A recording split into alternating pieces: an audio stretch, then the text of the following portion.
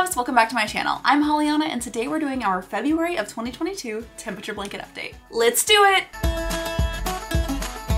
So if you're new here or if you just don't know what a temperature blanket is, I'm gonna start by showing you what a temperature blanket is and kind of how to go about making one. I am always so terrible at actually explaining what a temperature blanket is, even though I'm literally making one. So I'm going to be reading you Google's definition.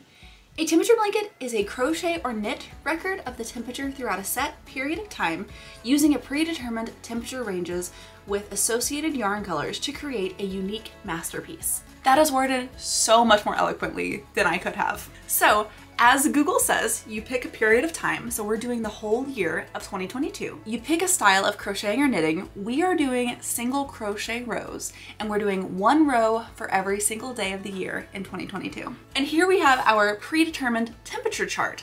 So these are my yarn colors and these are the temperatures that each color correlates with.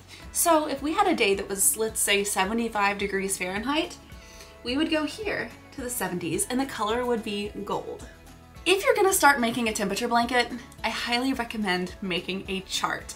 I personally use Google Docs and I do have my Google Docs chart linked below. You can click on it to see what my chart looks like and to see what day of the year I'm currently working on because I update it every time I work on the project. On my Google Docs chart, I include the day of the year, what average temperature it was for that day, what color correlates with that temperature, and most importantly, if I have finished that row or not. Because I think in the beginning I thought, oh, I can just keep track of this. I'll know what day I'm on.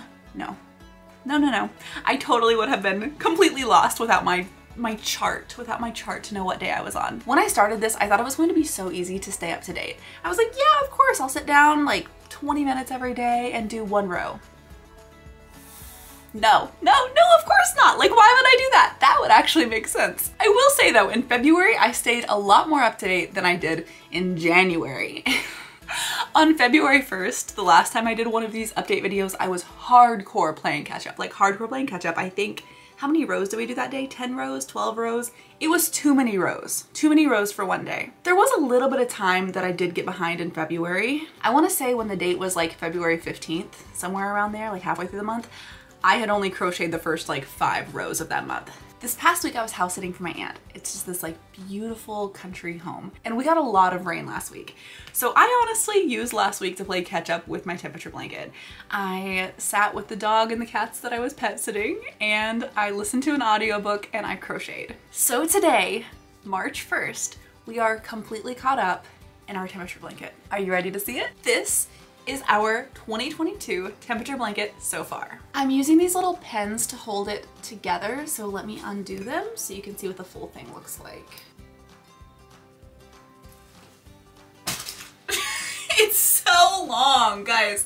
It is literally so, so long. It was supposed to be the width of a queen bed, but whenever I laid it out on my bed, it like falls off of both sides by a good amount. But it's definitely going to be so cozy and so comfy and so warm when it's finally done on December 31st of 2022. One thing I've been doing that I will highly recommend if you are in the process of creating a temperature blanket is I've been leaving markers for each month as I go along so I can kind of visually see where each month starts and stops. Some people literally crochet in barriers between each month. I've seen a lot of people do this where once they finish January, instead of continuing straight into February, they will put one row of white and then after February, they'll put one row of white before going into March. I don't really like the white line. I really like the gradient of colors and the way that this looks. But as I'm creating it, I do want to be able to see month to month and I also want to be able to show you guys month to month what the process is looking like. So this was January 1st.